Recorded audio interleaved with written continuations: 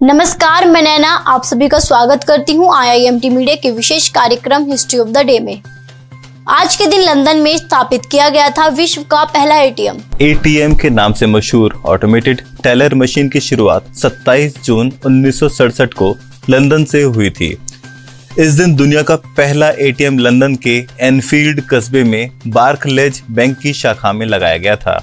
ATM का आविष्कार Scotland के निवासी जॉन शेफर्ड बैरन ने किया था। इससे पहले, शिफर्ड ने British printing machine De La Rue में काम करते हुए पहली बार ऑटोमेटेड कैश सिस्टम मशीन तैयार की थी।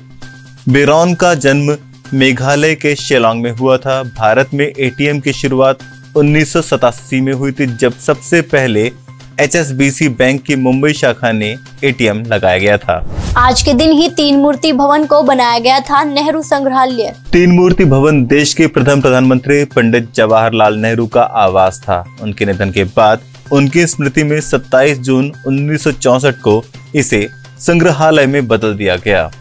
उनके जीवन की झलक यहाँ छाया चित्रों में देखी जा सकती है। यहाँ स्थित सीढ़ी नुमा गुलाब उद्यान से नेहरू जी अपनी शेरवानी के लिए गुलाब लेते थे। इससे पहले तीन मूर्ति भवन ब्रिटिश सेना के कमांडर इन चीफ का आवास हुआ करता था, जिसे फ्लैग स्टाफ हाउस कहते थे।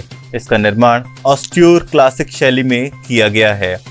अब केंद्र सरकार ने नेहरू स्मारक संग्रहालय और पुस्तकालय सोसाइटी का नाम बदलकर प्रधानमंत्री संग्रहालय और पुस्तकालय सोसाइटी कर दिया है। आज के दिन हुआ था वंदे मातरम के रचयिता बंकिम चंद्र चटर्जी का जन्म। प्रसिद्ध उपन्यासकार और राष्ट्रीय गीत वंदे मातरम गीत के रचयिता बंकिम चंद्र चटर्जी का जन्म 27 जून 1838 को बंगाल के उत्तर 24 परगना ज़िले के कांठलपाड़ा गाँव में हुआ था। अठारह से पहले स्वतंत्रता आंदोलन के दौर में प्रेसिडेंसी कॉलेज कलकत्ता से बीए की उपाधि लेने वाले वह पहले भारतीय बने थे। उन्होंने कानून की डिग्री भी हासिल की और अठारह सौ अठावन में डिप्टी मजिस्ट्रेट का पदभार संभाला। अठारह में वे सरकारी सेवा से रिटायर हुए थे। वे बंगला के प्रसिद्ध उपन्यासकार, कवि, गद्यकार और पत्रकार तो थे ही। दूसरी भाषाओं पर भी उनके लेखन का व्यापक प्रभाव पड़ा। आज के दिन ही हुआ था फ़ील्ड मार्शल तैमने शाह का निधन। सत्रह सौ इकहत्तर के युद्ध में पाकिस्तान के खिलाफ भारतीय सेना की विजय में महत्वपूर्ण भूमिका निभाने वाले पूर्व थल सेनाध्यक्ष सैम मानेक शाह का निधन 27 जून 2008 को हुआ था। 7 जून उन्नीस सौ उनहत्तर को उन्हें सेनाध्यक्ष बनाया गया था और 1973 में उन्हें फ़ील्ड मार्शल का सम्मान प्रदान किया गया था।